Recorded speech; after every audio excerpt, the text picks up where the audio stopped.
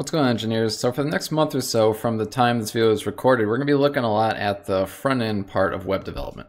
This is an area that we haven't explored all that much on this channel, so this should make for some really good content for a lot of people. And because HTML and CSS is the bedrock by which all modern sites are built on, it makes sense that we should start there. So we'll start by talking a little bit about HTML and CSS, and then we're going to look at some examples of HTML and CSS so you can kind of see how these two things fit into the big picture on the front end for the web. So HTML stands for Hypertext Markup Language, and it's important to make the distinction between a markup language and a normal language. HTML is designed to render things to your browser, and HTML has no ability to do any kind of logic, like you won't see things like ifs or loops in HTML. And the way HTML works is when you go to a site, when you type in URL and you click enter, the browser will make a request to a server. That server will send back HTML to the browser and the browser will then read it and then render what that HTML means into the browser. And in the end, all the user sees is the final rendering of that HTML. So once there's plain old HTML on the screen, that's where CSS comes in, and CSS stands for Cascading Style Sheets. What CSS allows you to do is add style to your HTML. And when I say style, I'm referring to things like text color, background color, background images, padding, margin, border, and tons of other things. To use an analogy, if HTML and CSS were a house, HTML would be the brick and the wood, CSS would be the paint and the wallpaper.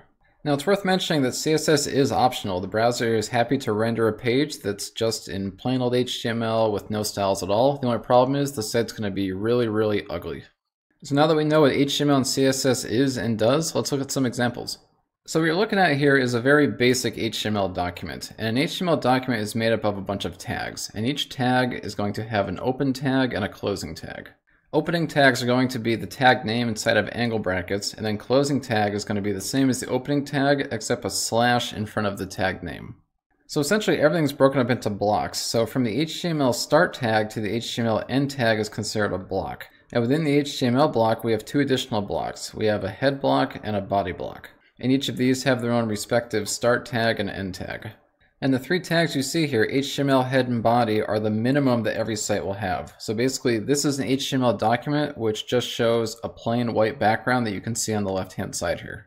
The two tags within the HTML tag have very distinct purposes. The head tag is designed for header information, things like page title, or meta tags, or styles, and script tags. And these are all tags that are not intended to actually render anything to the screen. All of that would go into the body tag. So if I wanted to get something to show up in the browser, I could click into the middle of the body tag and I could type something like hello world, save it, and you see that it shows up here. Now as you can see, I've done nothing related to style. This is just a plain old HTML document that's a white background with some black text. Now the way CSS fits into the equation is we're going to utilize an HTML attribute called style. And the way HTML attributes are used are right after the starting tag, you can put a space and then you can type the attribute name. So in our case, we're going to do style. You can put an equal sign and then double quotes. Now, whatever I type into the style attribute of the body tag is going to be read as CSS and applied to the body tag and all of its children. And the information that would go into the style attribute is going to be CSS properties and then the values for those properties.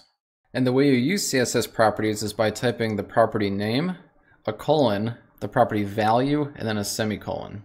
So the first property we're going to use is to make this background a little darker so it stops burning my retinas. So we're going to use the CSS property called background. So we'll simply type background, we'll type a colon, and then here is going to expect a hex version of a color we want to use. So if we want a really dark gray, we can do pound sign 222 semicolon.